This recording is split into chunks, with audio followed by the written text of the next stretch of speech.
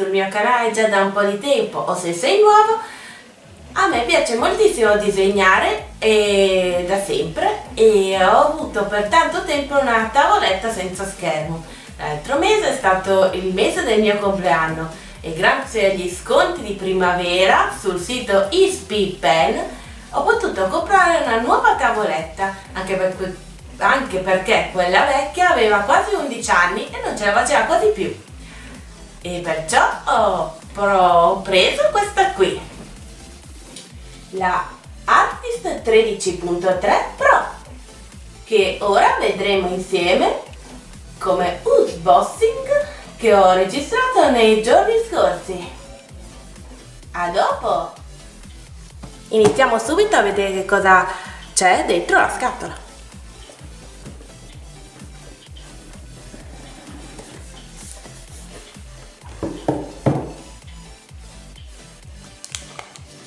Prima cosa che troviamo è la tavoletta, che vedremo più tardi insieme.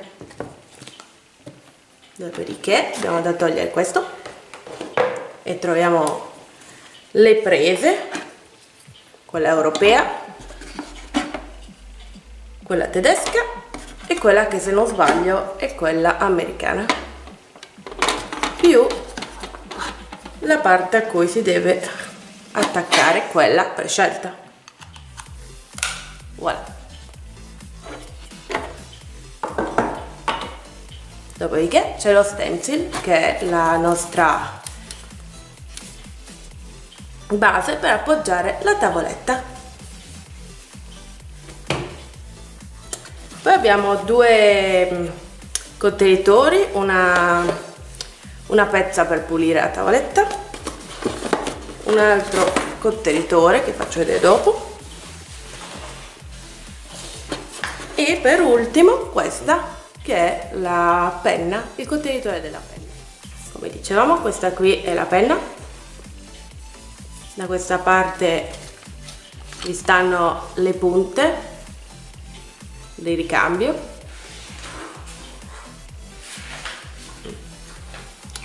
Dall'altra parte invece c'è la penna vera e propria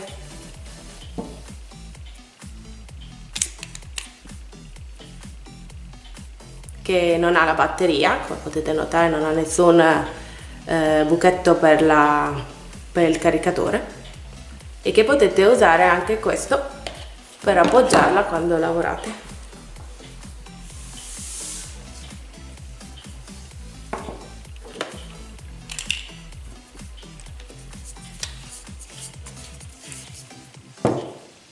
Per finire ci sono i due pacchetti nel primo vi sta il guanto che viene dato in dotazione con la tavoletta e altri libri tra cui quello delle istruzioni. Nel secondo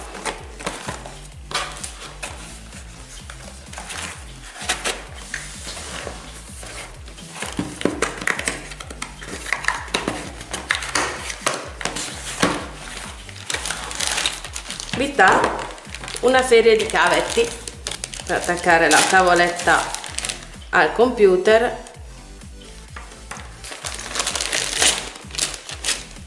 Che ha tre cavetti. E ora attaccheremo la tavoletta al computer. Qui c'è l'appoggio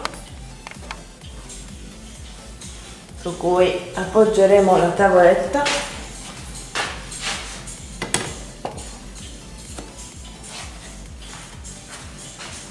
bella grande. E poi ci sono i cavetti. Uno questo qui è più piccolo e quello per la tavoletta. Poi c'è questi due da attaccare nelle usb questo qua è quello eh, che gli darà l'energia alla tavoletta. E poi abbiamo l'hdmi che adesso monterò attaccato i cavetti al computer andate su Pen e scaricate il driver così da avere questo programmino qui dove potrete sistemare le varie impostazioni della tavoletta. E voilà ora la tavoletta dopo aver acceso il pulsante laterale è pronta all'uso. E possiamo iniziare a lavorare a qualcosa con il mio fedele programma preferito Clip Studio Painting. Come ad esempio questo bellissimo disegno qua.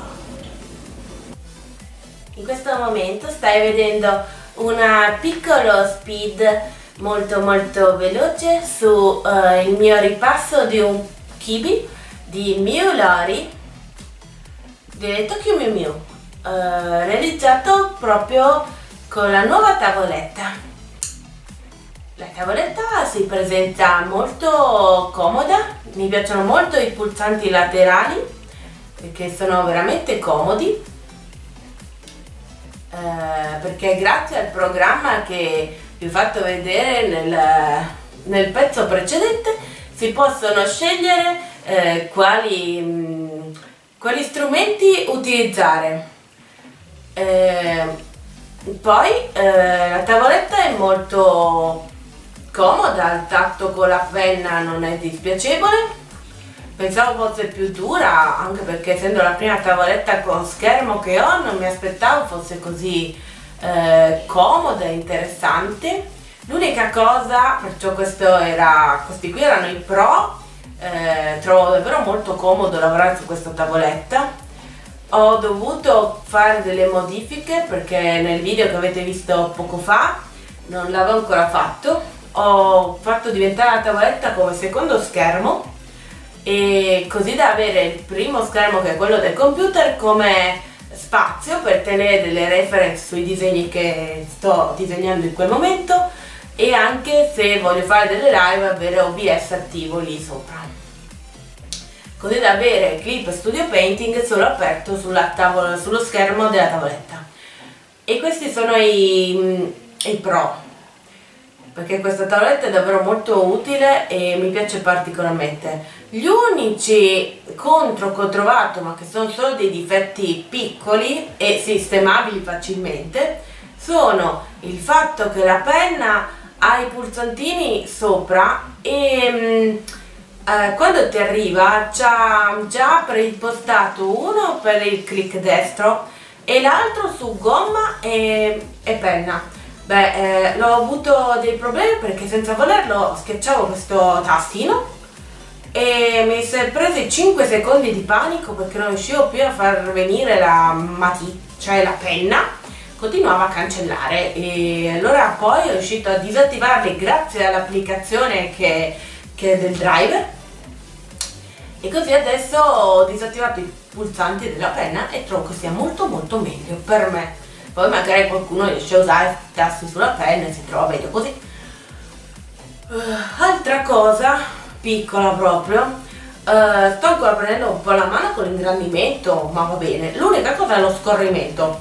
Per qualche motivo strano quando tu vai a pigiare con eh, la penna sulla la barra per far scorrere il disegno questa se non vai proprio a pigiare deciso diciamo non lo sente allora resta incastrato lì. Invece con tutte gli altri tutte le altre parti del programma che vai a toccare, che so, vuoi cambiare il pennello, vuoi cambiare la patita, vuoi cambiare, non lo so, quello che ti serve, lo sente subito. L'unica cosa, quel piccolo piccolo difetto lì che non riesce a sentirti subito eh, il tuo interesse di far scorrere il disegno in su e giù o in laterale.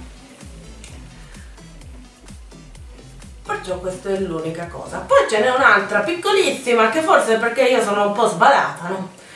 L'altro giorno ho voluto mettere i cavetti in modo diverso, ho messo prima il cavo rosso del, ehm, il cavo rosso del, della batteria, diciamo, della tavoletta, poi il cavetto nero, perciò le due USB, e poi l'HDM. Per qualche motivo sconosciuto funzionava tutta la tavoletta, ma quando andavi a toccare proprio il punto in cui volevi disegnare, niente, questa non, non andava, non, non, la sentiva, continuava... Allora poi l'ho spenta la tavoletta, ho rimesso i cavetti come ho fatto vedere anche come facevo prima perciò mettevo quello nero USB eh, poi quello rosso e poi l'HDM ed è tornato tutto a posto. Però io dico magari uno che non che se la prende o che gli viene molto più panico eh, e dice oddio se sei già già rotta che cosa ho fatto? Ho sbagliato io e allora eh, se vi capita così staccate di nuovo tutto e riprovate a riattaccarlo che forse sicuramente andrà a posto.